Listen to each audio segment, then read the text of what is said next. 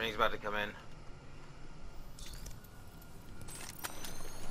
I'm about to chop up this little middle part right here, actually. Because there's that rock. I'm pretty sure I can hide behind.